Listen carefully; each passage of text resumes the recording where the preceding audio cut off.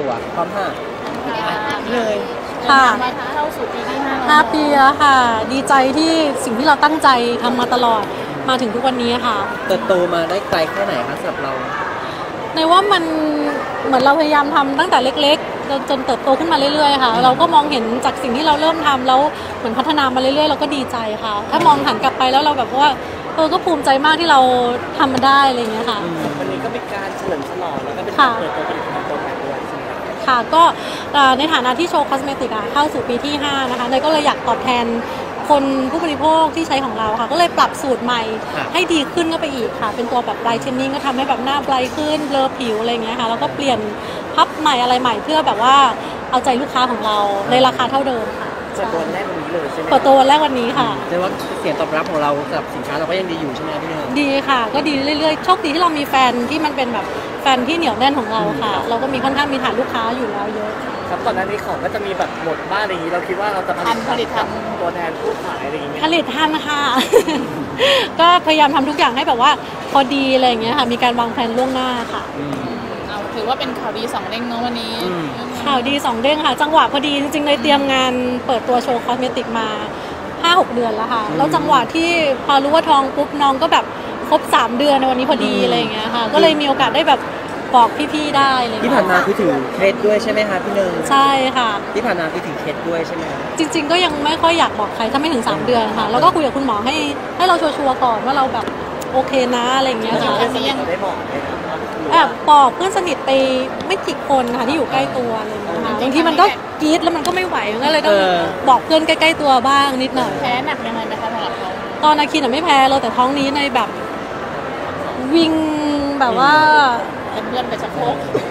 ใช่แต่ไม่ได้ไม่ถึงกับว่าเข้าห้องน้ำแบบว่าอาเจียนอะไรอย่างเงี้ยแต่ว่ามันจะวิ่งค่ะมันก็เราเมาเหลือตลอดอะเหมือนเราแต่ว่าตอนเย็นๆเราจะดีขึ้น เราจะเป็นแค่ช่วงเช้าอะไรอย่างเงี้ยค่ะ น้องอาคินเขารับรู้ไหมคะว่าตอนนี้เขากำลังจะมีน้องแล้วพี่เนย ในบอกอาคินทุกวันเลยค่ะ บอกตั้งแต่เริ่มท้องเลยแต่เขาก็ยังแบบเหมือนท้องเรายังไม่ออกมานะคะเราก็เลยไปซื้อหนังสือที่แบบแม่เริ่มท้องป่องขึ้นป่องขึ้นให้เขาดูอะไรเงี้ยตอนนี้เขาเหมือนเริ่มรู้แล้วเวลาเขากินอะไรอะเนยก็จะบอกว่าขอน้องๆกินด้วยหน่อยอะไรเงี้ยเออ เขาก็จะมาป้อนเราอะไรเงี้ยค่ะก็เหมือนเขาพยายามแบบก็พยายามซึมๆให้เรารู้ไปอะไรเงี้ยเขาอยากอะไรบ้างครับดีใจไหมเขาก็ดีใจค่ะ จริง ๆ แล้วอะในกะว่าเรา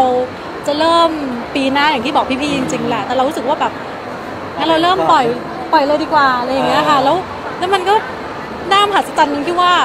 มาเลยก็คือมาเลยอืม ภายในเดือนเดือนแรกเลยอืม อะไรอย่างเงี้ยค่ะ แล้วก็แล้วก็อึ้งกันไปเหมือนกัน แล้วก็คนดีใจอะไรอย่างเงี้ยว่าแบบ ปล่อยปุ๊บน้องมาเลยอะไรอย่างเอเงี้ยออันนี้ลุ้นอยากได้เป็นผู้หญิงหรือผู้ชายยังไงมาคนนี้จริง ๆ เราไม่ได้ลุ้นเลยค่ะ ยังไงมาคนนี้ จริง ๆ เราไม่ได้ลุ้นเลยค่ะว่ายังไง เราก็คิดว่าแบบเออผู้หญิงก็ดีจะได้แบบครบ แต่ผู้ชายก็ได้เราก็ชอบอะไรอย่างเงี้ยค่ะแต่ใจคิดไหมคะว่าจะเป็นผู้หญิงมีอาการใจเหรอคะเพื่อนๆตอนนี้แบบเขาเรียกอะไรอะทายกันให้ยุ่งไปหมดเลยจากอาการที่เนยแพ้ท้องอะไรอย่างเงี้ยค่ะแต่ว่าแต่ว่าตัวเนยนังก็ยังรู้สึกว่า รู้สึกนะคะ เหมือนอ่าฮะเอ๊ะผู้ชายหรือเปล่าอะไรอย่างเงี้ยจะมีแบบเล่นเกม Baby Shower กับเพื่อนไหมคะให้ทายเพศหรือว่ายังไงเพื่อนๆทายกันไปเรียบร้อยแล้วค่ะนี่ยังไม่ทันเล่นเลย แต่ว่าเพื่อนๆก็ทายเป็นผู้หญิงเยอะเพราะว่าท้องแรกอะเหมือนเราไม่แพ้อืมแล้วมาท้องนี้เราแพ้เยอะอะไรอย่างเงี้ยตอนนี้ยังมีอาการอยู่ไหมคะแพ้ยังมีอาการค่ะ แต่ว่าตอนเย็นอาจจะดีขึ้น ตอนเช้าไม่ไหวเลยอะไรอย่างเงี้ยกระทบกับงานหรือว่าเวลาออกไปข้างนอกไปคุยธุรกิจอะไรอย่างเงี้ยพี่เนยมีบ้างค่ะ ช่วงเช้าจะคุยไม่ค่อยรู้เรื่องไหนจะบึงบึงมึนมึนๆเลยสามีต้องช่วยยังไงไหมคะ เขาก็เขาก็มีช่วยอะไรที่เขาจัดการให้เราได้เขาก็ช่วยอะไรอย่างเงี้ยแต่ไม่ได้ยังมีอยากกินอะไรเป็นพิเศษยังไม่มีใช่ไหมรอบนี้รู้สึกถึงความแพ้ท้องเลยค่ะเปรี้ยวรอบนี้กินซุปๆกับเปรี้ยวๆจี๊ดๆแซ่บๆตลอดเลยอะไรอย่างเงี้ยเพราะมันวิงเวลาเราได้กินอะไรแซ่บๆมันรู้สึกมันหายอะไรอย่างเงี้ยแพ้อะไรเป็นพิเศษแพ้พิเศษเหรอคะเห็นหน้าผัวอะไรอยู่ไหมยังไม่เหม็นหน้าสามียังไม่เหม็นแล้วไม่เป็นเหม็นกระเทียมอ๋ออันนี้เหมือนเหม็นกระเทียมอาหารที่ทำจากกระเทียมกลิ่นแรงๆเราจะกินไม่ได้อะไรอย่างเงี้ยค่ะเออก็เป็นเป็นเขาประคบประหงมเราไหมคะคุณสามีก็ไม่ได้ปก คือเนยเป็นคนแบบ